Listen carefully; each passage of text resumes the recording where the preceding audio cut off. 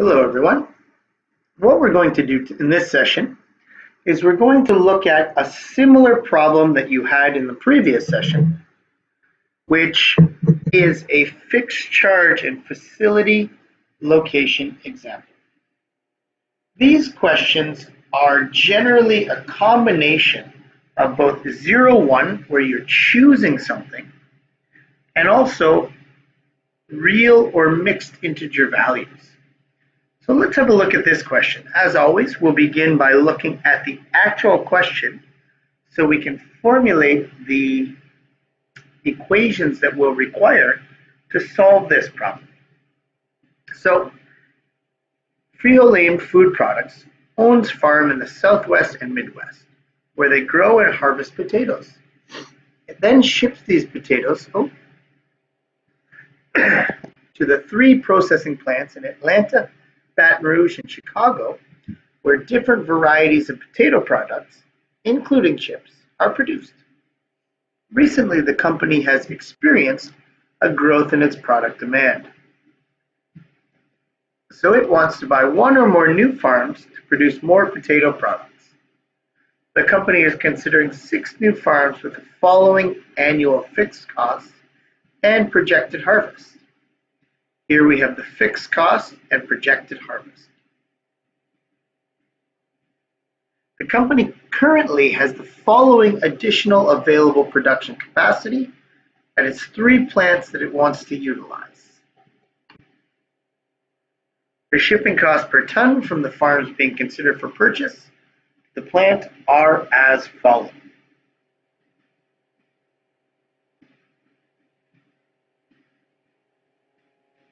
The company wants to know which of the six farms it should produce to meet or it should purchase to meet available production capacity at the minimum total cost, including fixed annual fixed costs and shipping costs.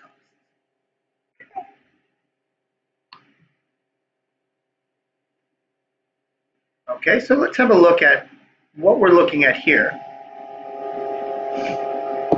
As we review the question, we see they own farms in the Midwest, South and Midwest. Not very important. Where they grow up and harvest potatoes. It then ships these potatoes to the three processing plants in Atlanta, Baton Rouge, and Chicago. So here we know there are three processing plants where different varieties of potato chips are produced. Not important. The product doesn't matter. Recently, the company has experienced a growth in its product demand so it wants to buy one or more farms to produce more potato products.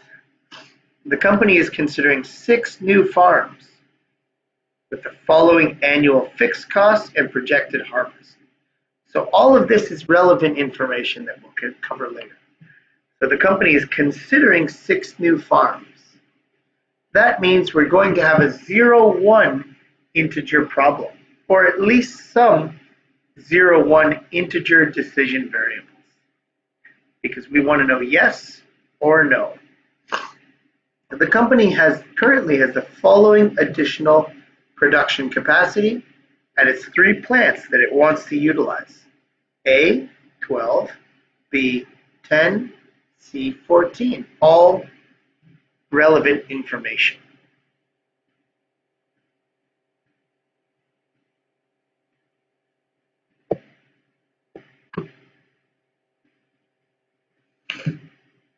The shipping costs per ton from the farms being considered for purchase are as follows. Again, key.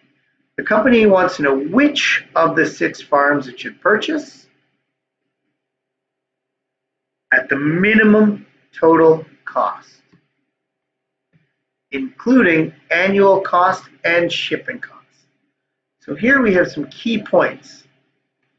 So the first thing we have to do, as always, is identify our decision variables.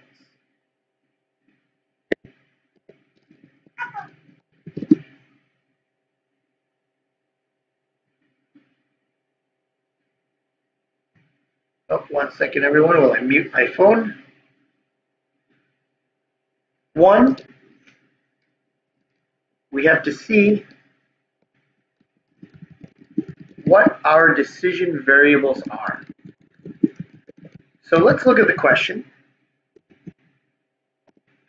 What are we choosing?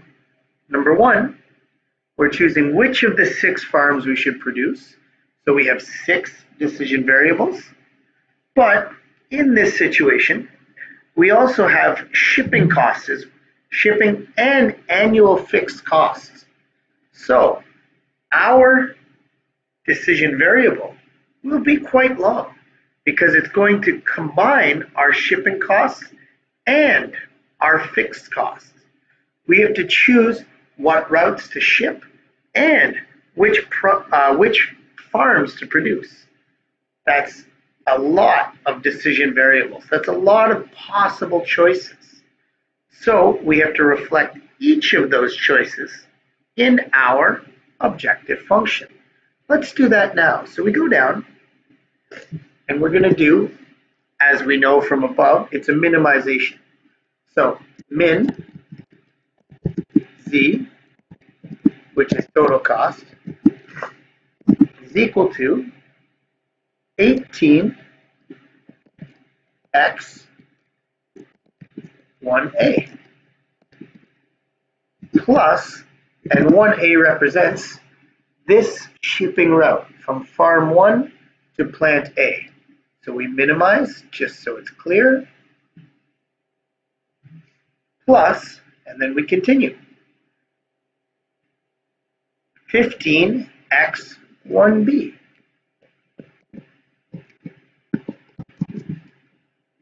Plus, and again, I'll continue minimizing, but I'll stop talking about it because it's mostly just visual.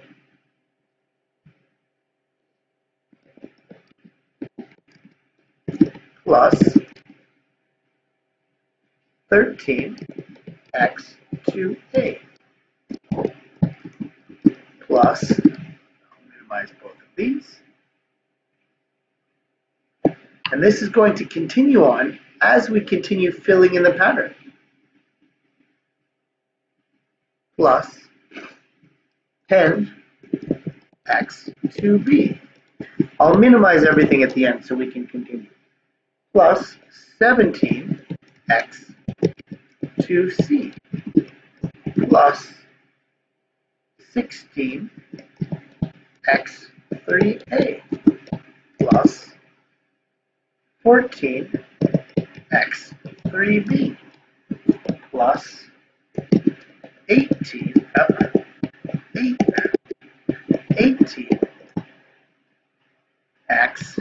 18 x 3c plus 19 x4a plus 15 x4b plus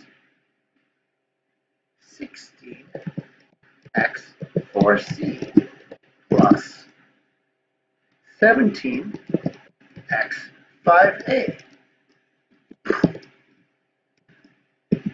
plus 19 x 5b plus 12 x 5c plus 14 x 6a plus 16 x 6b. We're almost there. Plus 12x6c.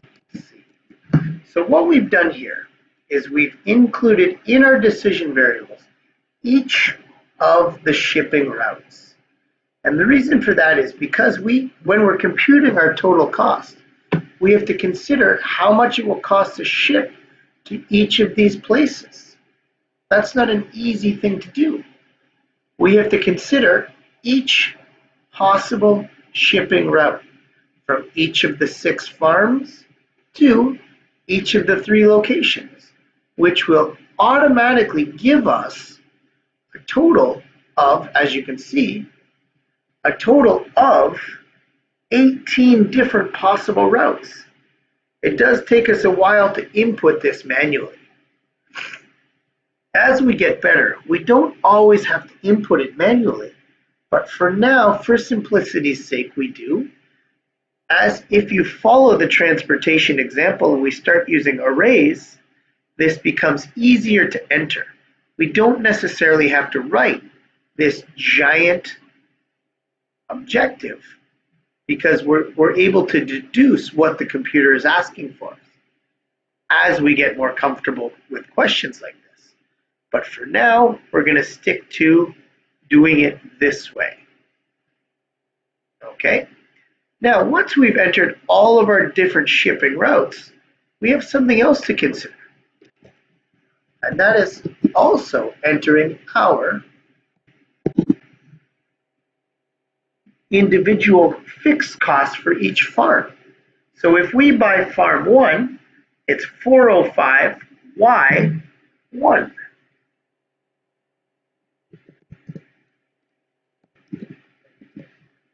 And we see that up here. $405 in fixed costs. So 405Y1 plus 390 y2 plus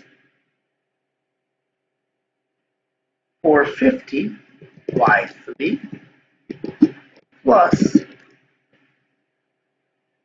368 y4 plus 520 y5 plus 465 y excuse me everyone y6 so what we've done now is now our objective function represents all of the shipping routes excuse me all of the shipping routes plus each of our possible potential purchases and the fixed annual costs of running those purchases. So now we have a very good idea of what we are choosing between. Remember, decision variables are what we are choosing between. So which of these routes are we choosing between? And which of these farms are we going to buy? As always, once we have our minimization or maximization objective function, then we can move to the next level and enter our constraints.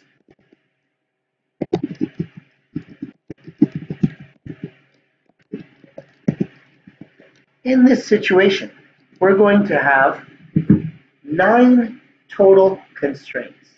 You'll see why shortly, but for now, let me just enter them.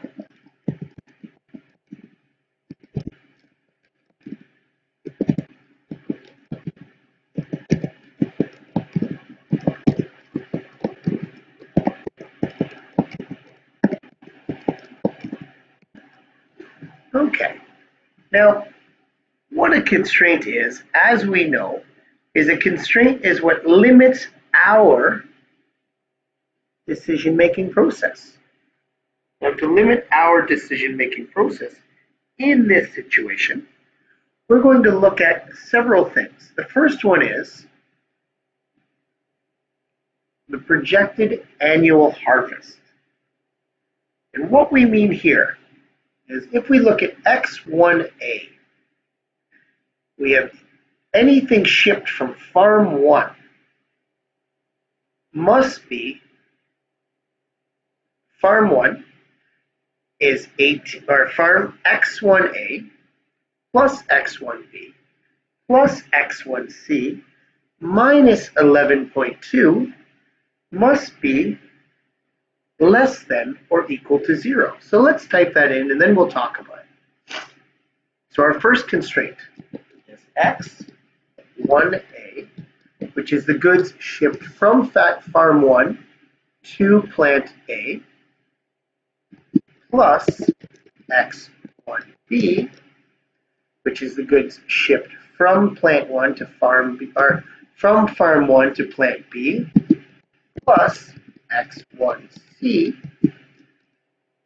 is less or minus 11.2y is less than or equal to 0. Now what does that mean? What is shipped from farm 1 to A to B to C must equal 11.2. However, that doesn't work down here, so we can change it. We take 11.2 from this side and we move it to this side. And that simply means everything shipped from farm 1 must be less than or equal to 11.2. We've simply rearranged the equation.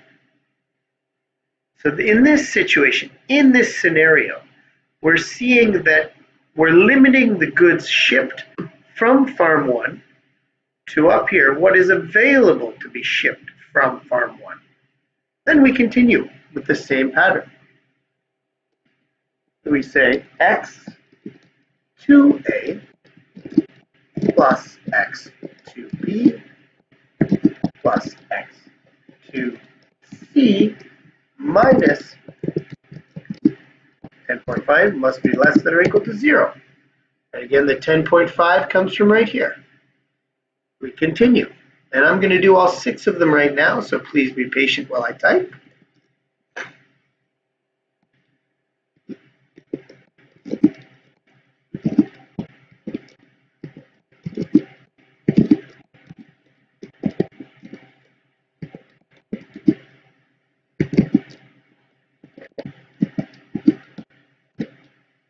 This is our third equation, our third farm.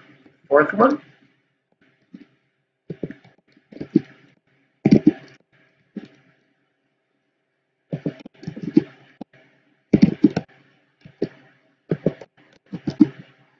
minus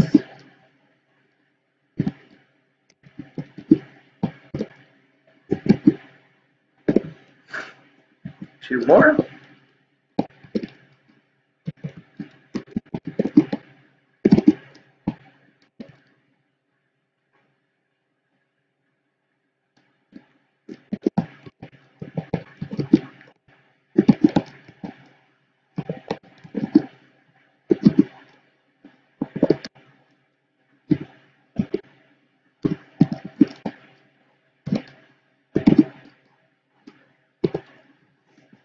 Finally C6.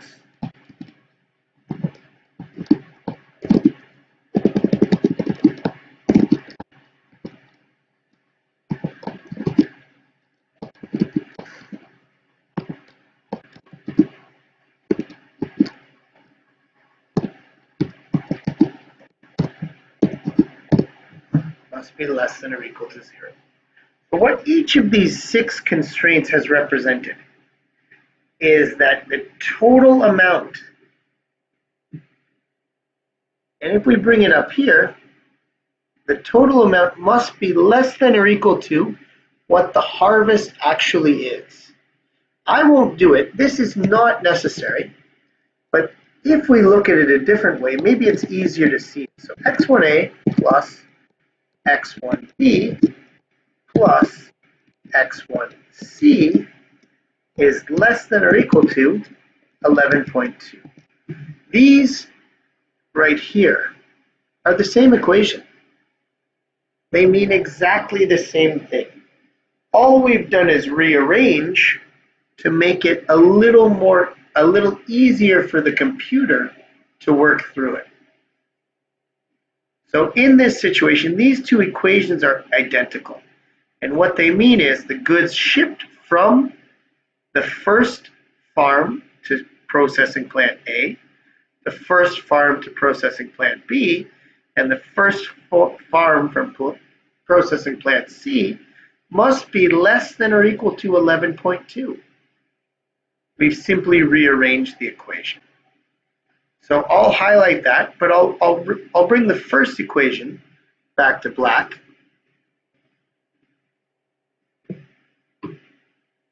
so that it fits in with the others. Now we've done, we've covered these limitations, meaning this is what they can produce. That's a limitation. If what they can produce doesn't meet our needs, then it doesn't work for us. And that's what we've shown here. Now, there's one more thing we have to look at. If you had to guess, I'm hoping you would say capacity, because that hasn't been accounted for yet. Capacity is how much they can produce, and what they produce also has to be accounted for. So how do we show that?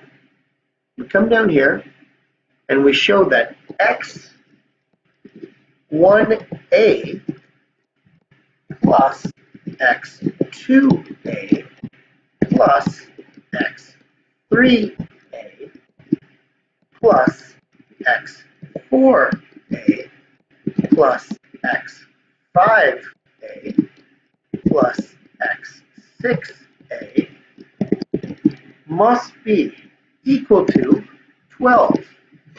And what that means, 1a, 2a, 3a, 4a, 5a, 6a, all the things shipped from each of the six farms going to A can only equal 12 because they can only process 12. If it's more than 12, it's waste anyways. They can't process any more than that. So what we're indicating here is no matter what else happens, they can only process 12. We can only send 12 to them. We're going to repeat the second pattern, but we see here that plant B can only process 10. So in this situation, it's going to be x2a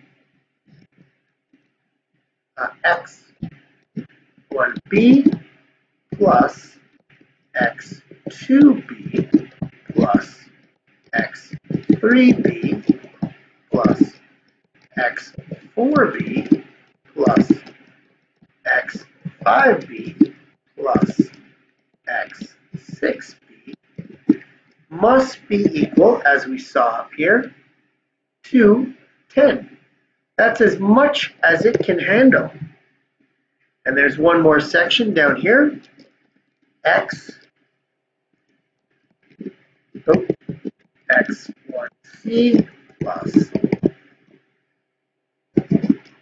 X2C plus x3c plus x4c plus x5c plus x6c must be equal to 14. That's what we've seen here. So what we've accounted for is, in our constraints, we know how much we can possibly ship because we know how much each farm can produce. We were shown that here. We also know how much each plant can handle. These two ideas, how much each farm can produce and how much each plant can, can, uh, can process, directly affect our problem solving. It's not the money, it's not necessarily the fixed cost because we're not operating in a vacuum. Instead, we know that there are things governing our choices. And that's what we've shown here. So in the next section, we're going to use these equations to solve the problem. Thank you for listening to the first section. I'll talk to you all of you in one moment.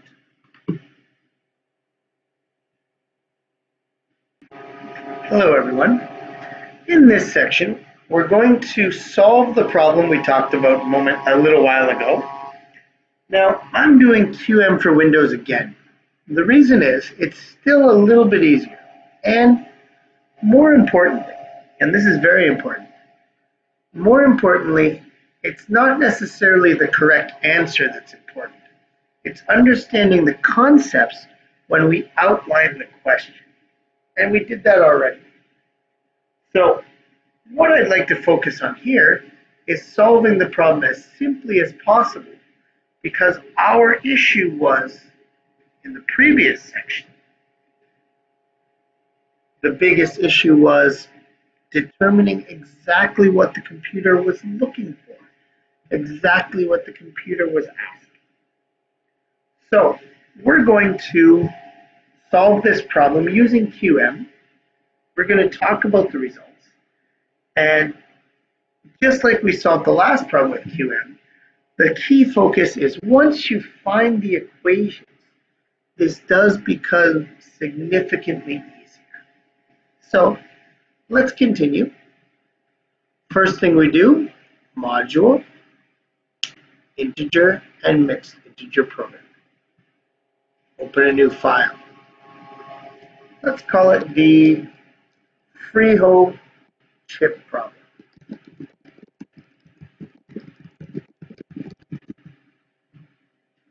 Now, how many constraints did we have? We had not one, not two, but three, but nine different constraints. We can see them here. One, two, three, four, five, six, seven, eight, nine. So we click nine constraints.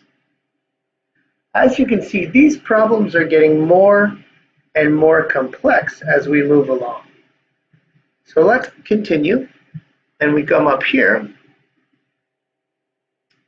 we see we have oh, one, two, three, four, five, six, seven, eight, nine, 10, 11, 12, 13, 14, 15, 16, 17, 18, 19, 20, 21, 22, 23, 24.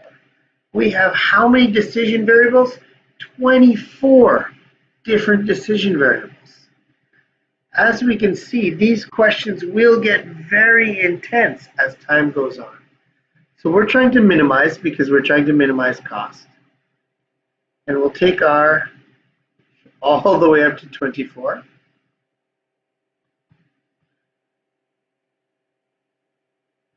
And what this shows us now is that we're ready to begin the problem because we've highlighted the key information. So click OK. You can see already this is getting complicated, especially when we start highlighting. Oh, I reversed that. Let's let's go back. Let's uh, let's open a new file because I made a mistake. So the Frito the Frito question constraints is 24. Uh, constraints is 9. And decision variables is 24. That was the mistake that I made. And we're again trying to minimize. We click OK.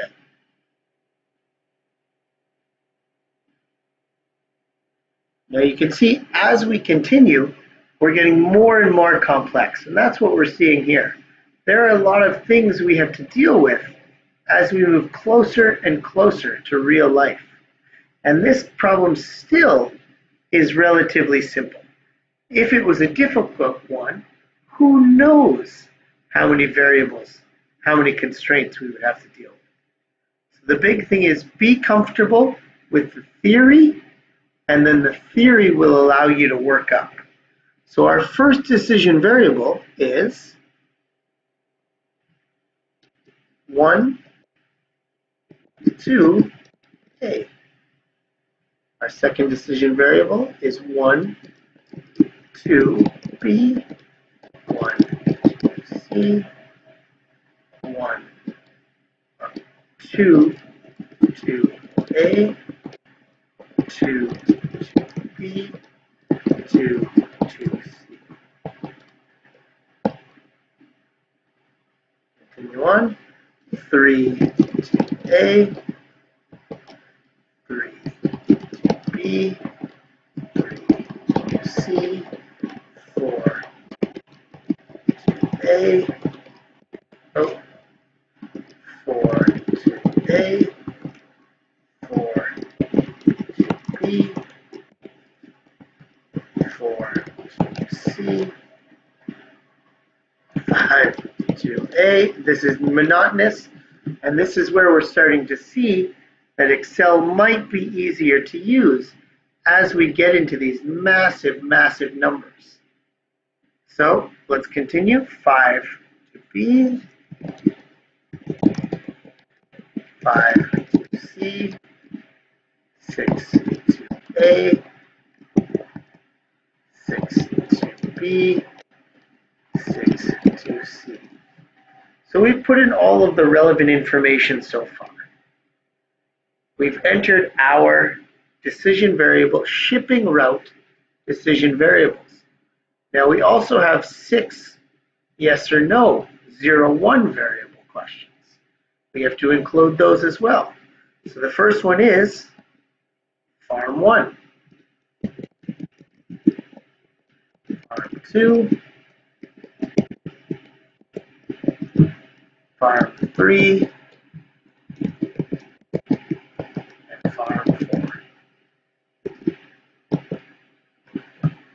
Okay, so we have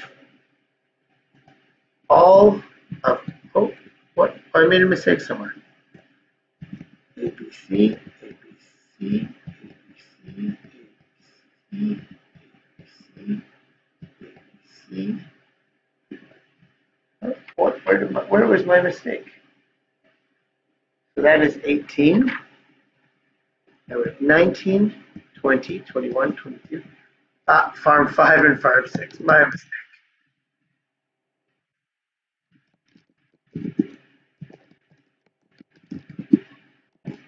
We have farm 5 and farm 6 here. That's what we've seen so far.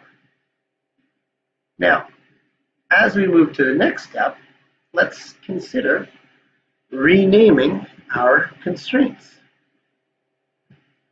Or I guess first we could enter our key information here. And we find this from the chart up here. We have 18, 15, 12, 13, 10, 17, 16, 14, 18, 19, 15, 16, 17, 19, 12, three more, 14, 16, 12. So we've entered all of our decision variable numbers except for the farms. For that, we have to go up here and look at their fixed costs. The first one, 405.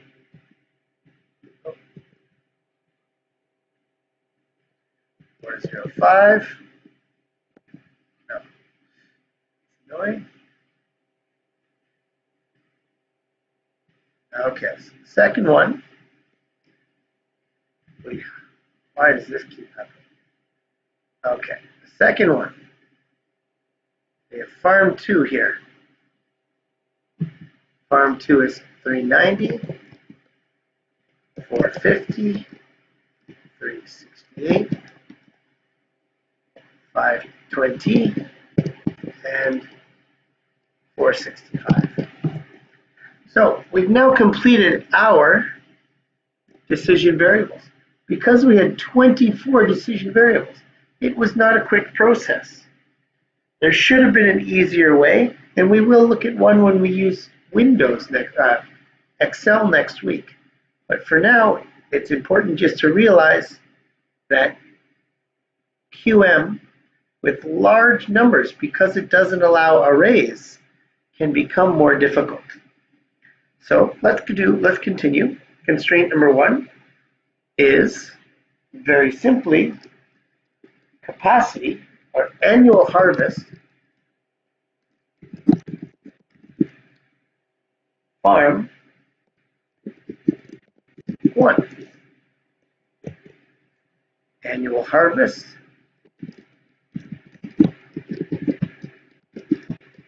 Farm two. Annual harvest.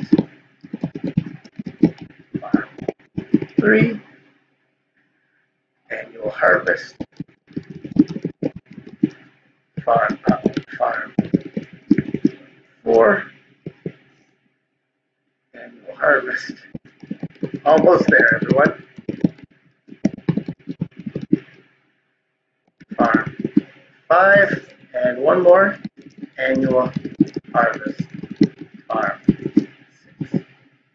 These represent our six first constraints. We can do them now, or we can do them after. Let's finish uh, naming our constraints before we begin the problem. So our next set of constraints represents how much capacity we have. So capacity A, capacity B, capacity C. So here we go, we go up. Now we've entered all of our key information here, but we have a little more to look at. So the first one is we have to go down to our constraints. We've entered our objective function. So constraint number one is A, B, C minus 10.5 is greater than or equal to 0. Oh, one second.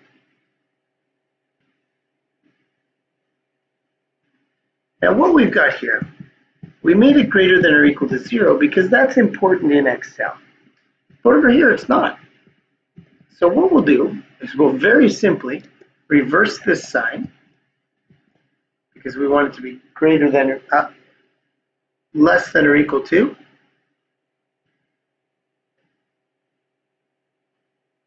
And the answer is 11.2. We repeat again for the next one. Come all the way back. We go one, one, one, up, one, one, one, all the way back. Change our sign.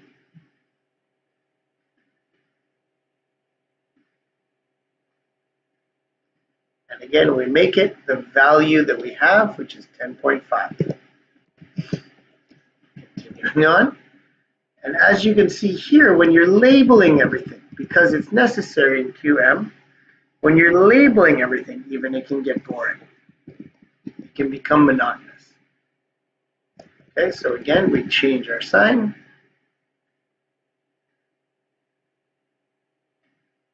We make this 12.8. Three more to go.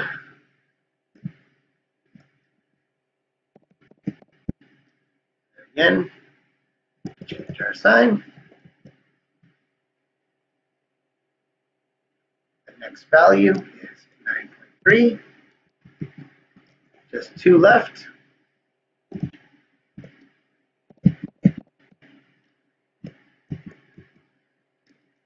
Ten point eight The last one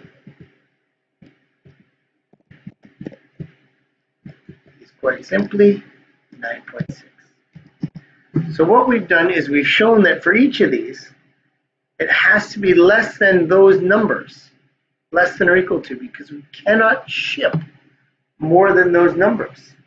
That's very, quite simply, the amount that each farm will produce. We cannot ship more than exists.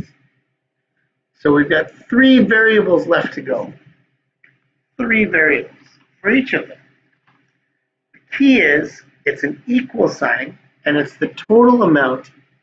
Essentially, what we're looking for is the total amount of capacity that they can fulfill. So anything more than that doesn't work. Anything less than that isn't as efficient. So we'll change all three signs now. And then we come over here and we make it very simply 12 tons, 10 tons, 14 tons. That's what we've done. Now, over here, we have to indicate which ones it is. So it's X1A, 2A, 3A, 4A, 5A, oh, 6A, and what that shows is from each of the farms, that's all that can be demanded.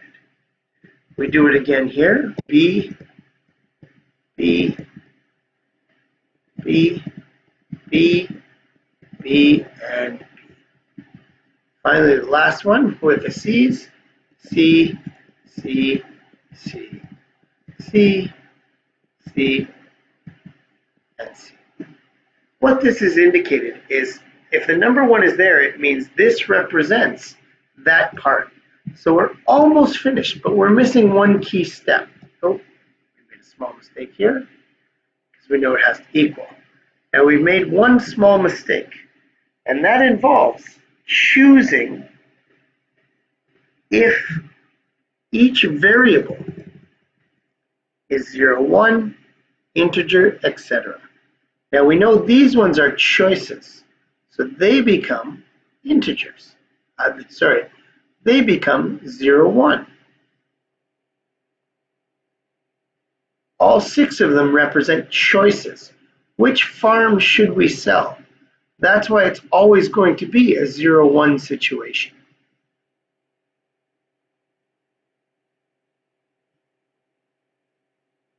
Okay, we, what we've indicated here is that all six of these, what is key is that they are choices. On the other side, we don't have to worry about that.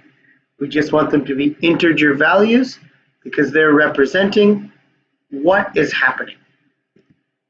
So then finally we come over here to the end. Everything's been accounted for. All we do now is we solve our problem.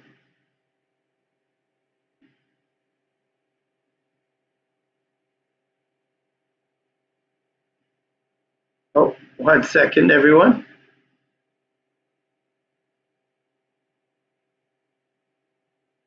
I didn't anticipate this. Wait, please. Okay, one thing that happened, and one of the weaknesses of QM, is that it didn't complete all of the iterations because we've given it so many variables, it's going to take time. So I'm going to hit solve again, and let's see what happens.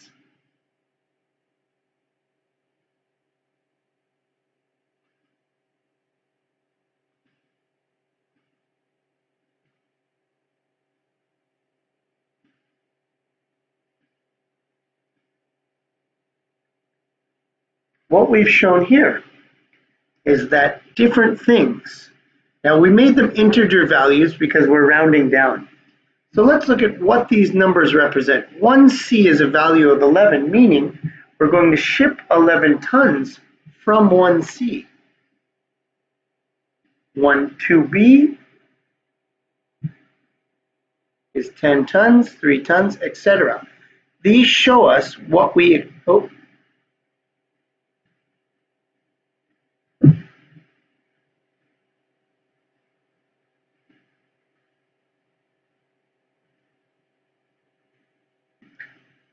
What I did was I readjusted the numbers so that in this situation they're real instead of integer. Real just means we can do percentages.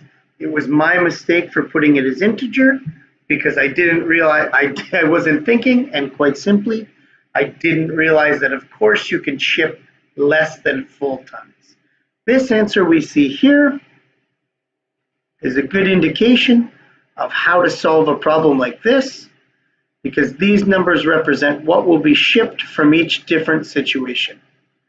Thank you very much everyone for watching and I'll see you next week where we'll do one more problem like this before we move on. Thank you again.